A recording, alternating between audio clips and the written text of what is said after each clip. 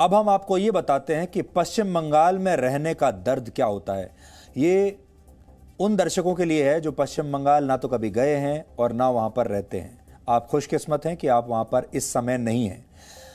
19 फरवरी 2013 को कोलकाता से लगभग 110 किलोमीटर दूर दक्षिण 24 परगना के नलियाखली गाँव में 200 से ज़्यादा हिंदू परिवारों के घर जला दिए गए थे।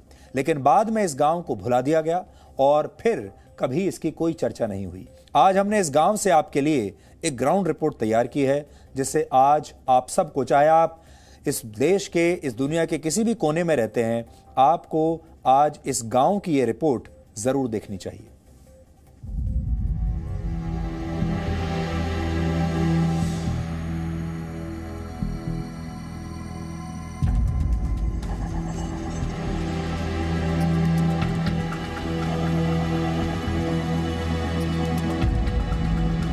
जो हिंदू है ये लोग के मार दो। ये लोग हम लोग का मौलाना साहब के मारा है। आदमी को मारा है आदमी को भगा दिया है दे के उसमें पेट्रोल दे के जला दिया है। भीड़ इकट्ठा हुआ। उसके बाद आग जलने शुरू कर दिया मार मारने शुरू कर दिया औरत लोग भागने शुरू कर दिया बच्चे लोग भागने शुरू कर दिया। ये पश्चिम बंगाल में दक्षिण 24 परगना का नलियाखली गाँव है। इस गाँव के बारे में शायद आपने पहले कभी ना सुना हो। 19 फरवरी 2013 की ये पुरानी तस्वीरें इसी नलियाखली गाँव की है। आरोप है कि इस गाँव में 200 से ज़्यादा हिंदू परिवारों के घर जला दिए गए। आठ साल तक इस घटना की चर्चा पूरे देश में कभी नहीं हुई। इस घटना को दबा दिया गया। लेकिन अब भी 2021 में भी यहाँ के लोगों के जख्म ताज़ा है। इस वक्त मैं पश्चिम बंगाल के दक्षिण 24 परगना ज़िले के कैनिंग थाना में नलियाखली गाँव में मौजूद हूँ। नलियाखली गाँव के बारे में आप में से बहुत से लोगों ने नहीं सुना होगा, लेकिन जो लोग पश्चिम बंगाल में रहते हैं, वो नलियाखली की उस घटना को ज़रूर याद करते हैं जो 19 फरवरी 2013 को हुई थी।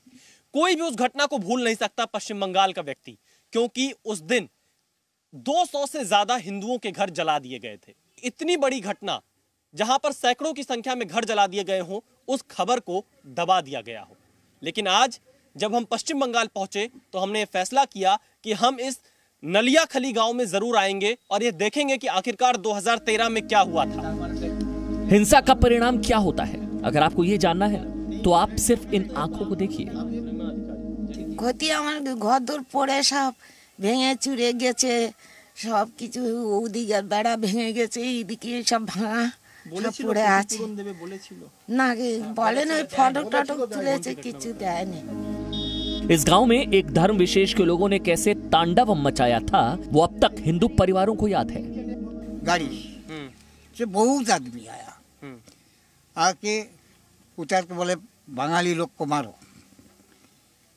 जो हिंदू है ये लोग के मार दो ये लोग हम लोग का मौलाना साहब के मारा है अरे ना भाई हमारा कोई आदमी ग्राम को मारा नहीं है। वो बाहर का आदमी दारू पी के मारा है। वो लोग बात नहीं सुना है। अरे सब जालिए दिए। पलाया सब भाग गया। और ये सब ठाकुर फाकुर सब टूट गया। हाँ जला दिया। कितना घर जला दिया आप लोगों का? दो सौ हाँ two hundred two hundred to Naliakhali Paschim Bangal का वो गाँव है जो कि 2013 में सबसे ज़्यादा हिंसा का शिकार हुआ था। यहाँ पर सैकड़ों की संख्या में घर जला दिए गए थे। इस वक्त मैं युधिष्ठिर अधिकारी के घर पर मौजूद हूँ और ये पूरा इनके परिवार का घर है तीन चार घर मिलाकर। इन सभी घरों को भी जला दिया गया था। और जितना मुस्लिम, जितना इलाका के मुस्लिम जो है, आके सारा दुनिया को एक सौ छप्पन सतानवे घर जला दिया है। जला के यहाँ से चौपाट होकर चला गया है। आपका आ, आपका कितना नुकसान हुआ? क्या कैसे हुआ था? में- कैसे जलाया आपका घर? क्या देखा? आप उस वक्त मौजूद थे यहाँ पर? हाँ उसी में देखा है बम लिया है गाड़ी में। बस्ता में भर के बम लिया है बम मारा। आगे डिसलाई से आ, जला दिया खर खर का घर जला दिया है। हम्म, कैसे बचे आप लोग? हम लोग घर छोड़ के भाग गया है। हम्म, यहाँ से भाग गया दूसरा ग्राम में। सरकार ने कोई मदद नहीं ना ना ना ना। क्यों? कुछ कुछ हम लोग दरखास्त दिया है लेकिन घर मिला नहीं। एक भी घर नहीं दिया ना, ना। किसी को भी आपके परिवार में ना किसी को नहीं दिन को ग्यारह बजे हम्म। आके जितना दुनिया का मुस्लिम आके यहाँ जला दिया है यहाँ पर जितना गाड़ी घोड़ा लगा दिया है आके जला के सब भाग गया नलियाखली गांव में रहने वाली इस महिला का नाम शामली मंडल है आठ साल पहले इनकी आंखों ने जो देखा वो अब तक नहीं भूली है सोचिए उस वक्त डर का कैसा मंजर होगा এবং মন্দির ছিল মন্দিরে ঠাকুরও ছিল ঠাকুরগুলো নাতি মেয়ে সব ফেলে দিয়েছে भट्ट हो जाए ले देचे। ठाकुर जी को भी फेंक दिया? है। वो मंदिर को भी जलाया? है। हम्म। एक घर गुना हो जाए ले देचे लोशा घर को भी जलाया? है। तो दिवाल वही आगुन जलते चे वही आगुन जलते चे वही आस्ते चे। आँखों को सामने आग हम्म, जलता हुआ हम्म, दिखता वो तो पूरा चौके सामने ही देखे चे बात। दंगाइयों ने इस गाँव में न सिर्फ़ घरों को जलाया था बल्कि कई मंदिरों को भी नुकसान पहुँचाया था। हिंसा करने वालों ने 2013 में नलिया खली के इस गाँव में प्राचीन मंदिर को भी नहीं छोड़ा। इस वक्त जिस जगह पर मैं मौजूद हूँ, यहाँ पर एक प्राचीन मंदिर हुआ करता था। ये पूरा स्थान जो कि एक पवित्र स्थान यहाँ पर राधा कृष्ण की मूर्ति हुआ करती थी अ, काली माँ की मूर्ति हुआ करती थी और गाँव वाले यहाँ पर पूजा पाठ किया करते थे। लेकिन 2013 में जैसा कि स्थानीय लोगों ने बताया कि पेट्रोल डालकर आसपास के सभी इलाकों को जला दिया गया था और उसमें इस मंदिर को भी जो हिंसा करने वाले लोग थे उन्होंने नहीं छोड़ा। प्राचीन मंदिर भी जला दिया था। पवित्र जगह पर खड़े हैं यहाँ पर क्या हुआ करता था और क्यों ये मंदिर टूटा कैसे टूटा कब टूटा? ये 2013 साल में टूटा है वो लोग जला दिया है पूरा। हाँ वो हिंसा करके पूरा जला दिया पूरा ग्राम सब जला दिया है हम लोग का। मंदिर को भी जला दिया? मंदिर का वो जला दिया। स्थानीय लोगों ने हमारे संवाददाता को बताया कि नलियाखली गाँव के पास से गुजरने वाली इस सड़क के किनारे कई दुकानें थी जिन्हें 2013 में जला दिया गया था। यहाँ बहुत दुकान जला दिया है। ये भी, ये दुकान में बहुत टाटा था, बहुत सामान था। हाँ इसको भी अच्छे जला दिया है।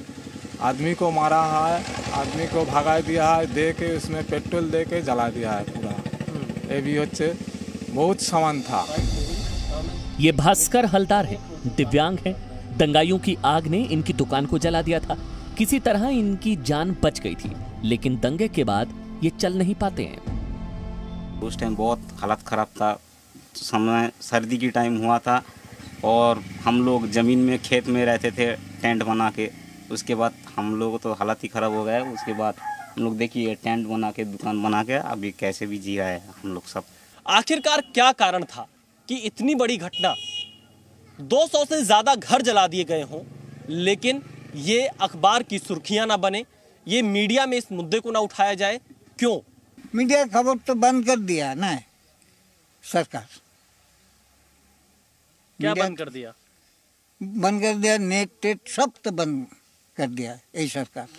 कोई मीडिया अब तक आपके घर आप लोगों के पास पहुँची बातचीत करने ना ना कुछ आया नहीं। आखिर क्या वजह थी कि तब मीडिया ने इस घटना की कवरेज नहीं की? ये जानने के लिए हमने स्थानीय पत्रकार प्रसन्नजीत सरदार से बात की जो इस वक्त हमारे सहयोगी चैनल जी 24 घंटा के संवाददाता भी है। उस वक्त वो इस घटना को कवर करने पहुँचे थे, लेकिन प्रशासन ने उन्हें काम करने नहीं दिया। कैमरा नेट ऑफ़ कर दिया। तो अभी अभी तो से उस दिन तो जो भी हुआ हुआ। मगर तीन तीन मंथ हमारा नहीं इस तरह आना दिया। तो ये सब पुलिस पिकेट प्रतिटा मोड़ मोड़ के बैठा दिया। तो जो भी मैं असर जो छवि का करना तो वो पुलिस प्रशासन बोलता है, नहीं, गवर्नमेंट का निषेध है। आठ साल बीत जाने के बाद भी आज भी यहाँ पर कई ऐसे परिवार हैं जिनको सरकार की तरफ़ से कोई मदद नहीं मिली। जिन्हें घर नहीं मिला, जिन्हें आर्थिक मदद नहीं मिली। कुछ परिवारों को ज़रूर आर्थिक मदद मिली, घर मिला, लेकिन वो भी बहुत मामूली। हिंसा में जिन हिंदुओं ने सब कुछ गवाया उनके कई सवालों के जवाब आज भी पुलिस और प्रशासन के पास नहीं है। कि, किसी को घर जला किसी को धान जला किसी को म- सब ऐसे मकान मकान जल के फिर गाँव फाका कर दिया। फिर दो तीन घंटा बाद थोड़ा वो लोग चला गया जला के फिर पुलिस आया। कोई फ़ोन से फ़ोटो भी नहीं ले सकता ना कोई कैमरा आ सकता है।